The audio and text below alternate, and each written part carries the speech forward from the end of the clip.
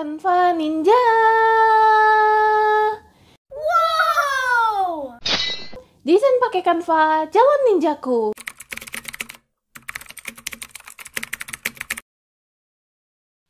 Hai semuanya, kembali lagi bersama Fioni dari Canva Ninja. Di tutorial hari ini, aku akan ngajakin teman-teman untuk bikin desain sertifikat menggunakan aplikasi Canva free. Nah, di sini teman-teman, kita akan buat dulu sertifikatnya, kemudian aku akan kasih hidden tips and trick buat teman-teman supaya kalian nggak perlu satu-satu lagi input nama dari peserta yang mau dikasih sertifikatnya. Karena itu, yuk kita langsung masuk ke tutorialnya tanpa berlama-lama lagi. Seperti biasa, teman-teman bisa masuk dulu ke canva.com, kemudian sign up atau login terlebih dahulu. Kalau sudah, teman-teman bisa ke bagian bar search, kalian ketikkan aja sertifikat. Nanti akan muncul rekomendasi template seperti ini, ada dua, sertifikat yang landscape dan juga sertifikat yang portrait. Kalian boleh pilih mau yang portrait atau mau yang landscape. Kalau di sini aku akan pakai yang landscape. Setelah kalian klik, biasanya akan muncul seperti ini kalian boleh pilih template mana yang mau kalian pakai. Diperbolehkan banget loh, teman-teman, kalau kalian mau pakai template. Tapi untuk saat ini aku akan bangun template-nya atau desainnya dari nol. Begitu sudah masuk ke blank page desainnya kita, kalian bisa ketik dulu teks, kemudian add a heading, masukin aja kata yang paling utama, yaitu sertifikat, kita ganti dulu font dari sertifikatnya. Di sini teman-teman boleh pilih font apa pun yang mau kalian pakai. Biasanya pemilihan font ini tergantung dari tema acaranya teman-teman. Kalau misalkan temanya tuh lebih ke kekeluargaan atau friendly, itu biasanya pilihlah yang handwritten. Tapi kalau misalkan teman-teman webinar yang kesannya serius, pilihlah font yang lebih serius seperti sans serif dan juga serif. Seperti itu. Kalau di sini aku akan memberikan atau membuat sertifikat yang kesannya vintage. Jadi aku akan cari dulu font yang vintage. Sudah muncul, aku akan pilih yang Brookshire. Kita perbesar. Taruh di sebelah kiri. Kemudian tambahkan lagi teks, add a subheading. Kita ketikkan dengan bangga sertifikat. Ini diberikan kepada perkecil karena di sini aku pakai yang Brookshire berarti di tulisan sertifikat ini diberikan kepadanya aku ganti. Jadi yang serif cari dulu yang serif aku pakai yang Indria Serif aja. Sip, dideketin. Kalau sudah, teman-teman bisa masukin garis, teman-teman bisa sari lewat elemen line. Seperti ini, atau di bagian elemen kalian scroll aja, di sini ada tulisan lines and shape. Kalian boleh klik di sana, nanti akan muncul seperti ini. Masukin aja, satu, garis. Kita perbesar garisnya.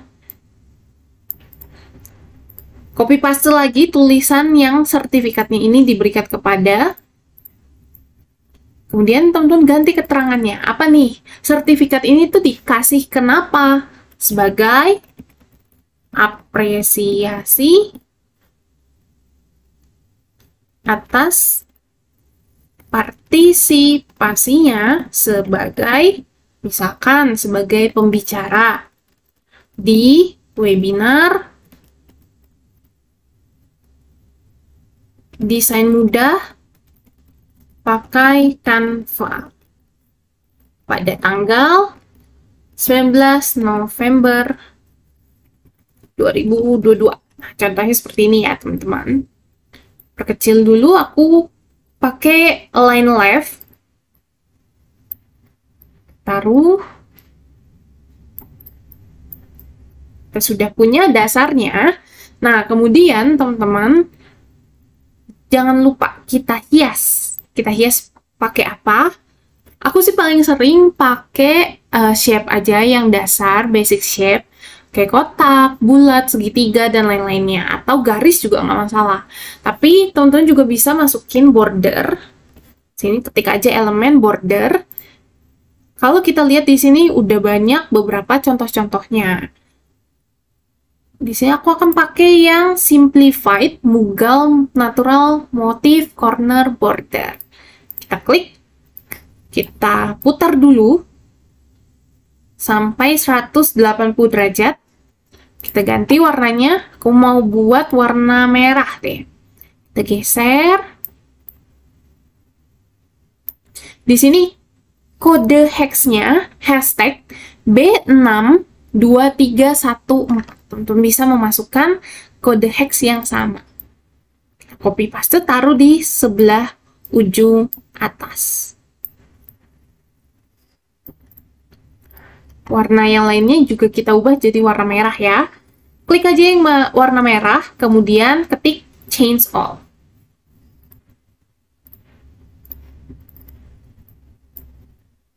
Kalau sudah, ini bordernya aku copy paste satu kali lagi, perkecil, dan kita rotate, taruh di sebelah kiri.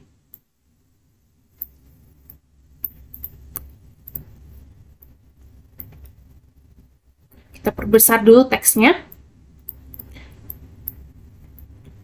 Atur posisinya. Jangan lupa teman-teman, ini kan sertifikat.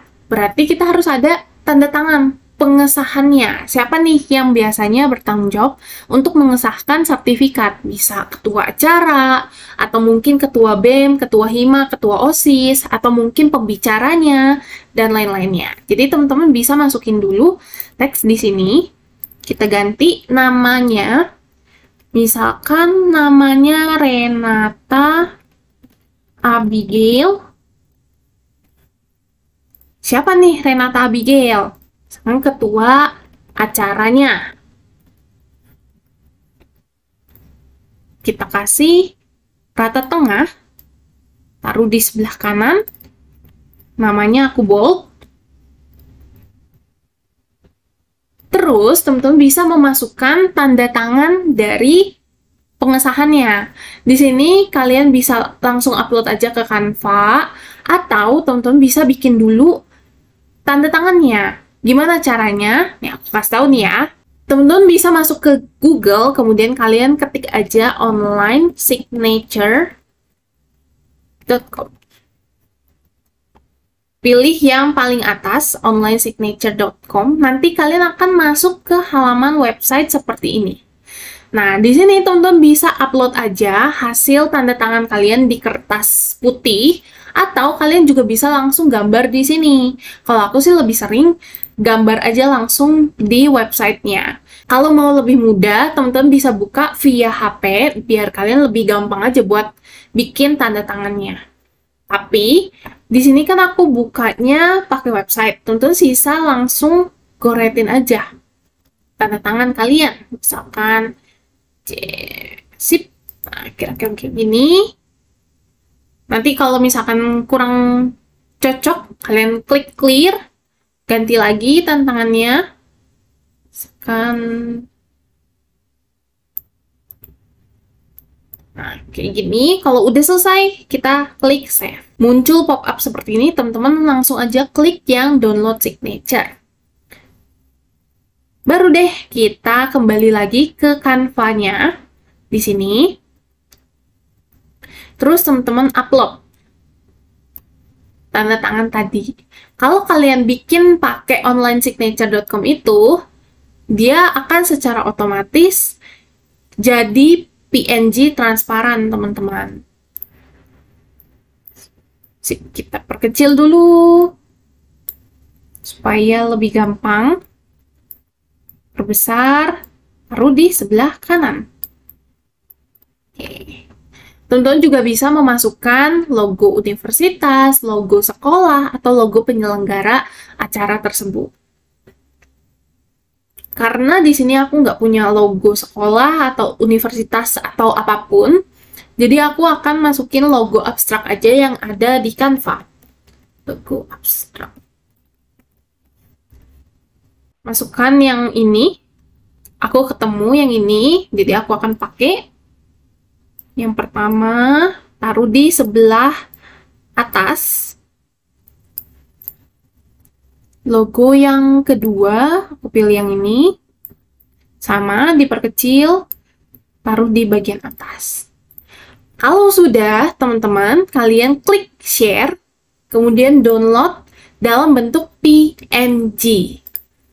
Mungkin kalian bertanya-tanya, Kak Fioni, kok di-download dalam bentuk PNG dan gak ada namanya ya? Nah ini, aku kasih tahu nih tips dan triknya, teman-teman. Kemudian kalian ketik Certifest.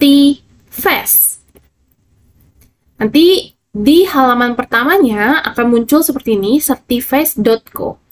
Website yang satu ini bisa bantu teman-teman untuk input nama dari pemilik sertifikatnya. Kalau misalkan teman-teman punya 1500 anggota webinar, wah baik banget tuh kan, nggak mungkin kalian input satu-satu, pusing nanti. Kemudian teman-teman tarik aja sertifikatnya ke websitenya, secara otomatis dia bakal seleksi seperti ini muncul. Baru kalian klik di sini ada tanda dynamic text-nya. Kalian perbesar, cukup diklik aja, nggak usah diapa-apain. Posisikan di tengah desain. Nah, kalian juga boleh mengatur nih teman-teman. Mau pakai font apa? Misalkan mau pakai font yang jenisnya Playk atau misalkan teman-teman mau pakai yang Abril Fat Face. Itu juga nggak masalah teman-teman. Boleh pilih font apa pun yang kalian mau pakai. Kemudian kita bisa juga pilih warna yang mau kita pakai. Coba ya, kita balik lagi ke sertifikat kita tadi. Kode hexnya apa? Kita copy paste, masuk lagi ke Certiface, kita paste. Oke, kalau sudah, teman-teman ke bagian input, terus kalian klik manage input. Di sini kalian bisa copy paste aja nama-nama yang udah kalian punya. Ini aku contohin ya, kalian bisa masuk aja dari Excel. Jadi pertama teman-teman masukin dulu semua namanya kalian di Excel ya. Misalkan Damian A. Ya, ya. Terus ada Dorothy Eloise. Sebentar ya, aku akan tulis yang banyak dulu buat kasih contoh ke teman-teman.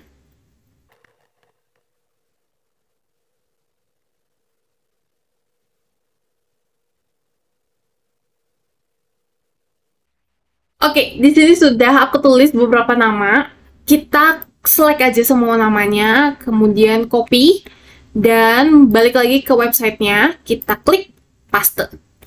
Teman-teman klik save, kalau sudah tersimpan, nanti dia akan ada notifikasi seperti ini, your input has been saved. Kita X aja.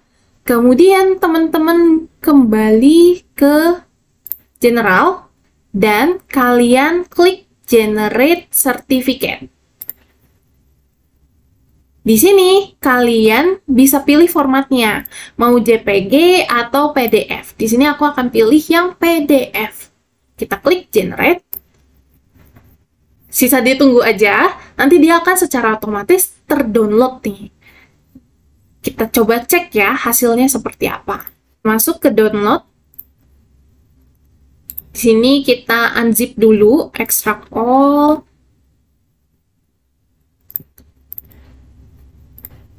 Nah, kalian bisa lihat kan, di sini sudah langsung terpisah otomatis nih. Dari Amanda Aramita, Bodoni Abigail, pokoknya udah terseleksi lah semuanya. Dan kita coba review satu persatu ya, teman-teman. Nah, sudah langsung tertulis. Ih, Keren banget ya. Jadi teman-teman nggak perlu input lagi satu-satu, di copy paste di kanvanya, baru nanti di download lagi satu-satu. Sisa kalian masuk aja dan pakai aja website ini. Secara otomatis dia bakal ngaturin namanya siapa dan juga ngedownload dalam bentuk PDF atau JPG. Simple banget kan? Semoga aja tutorial ini bisa membantu teman-teman membuat sertifikat menggunakan Canva. Dan jangan lupa Jangan cuma ditonton doang, tapi dipraktekin juga nih tutorialnya. Aku tunggu hasil karyanya kalian di Instagram Story. Jangan lupa tag aku di @canvaninja dan pakai hashtag GoCanvasian. Sampai jumpa di tutorial dan tips and trik berikutnya. Bye-bye!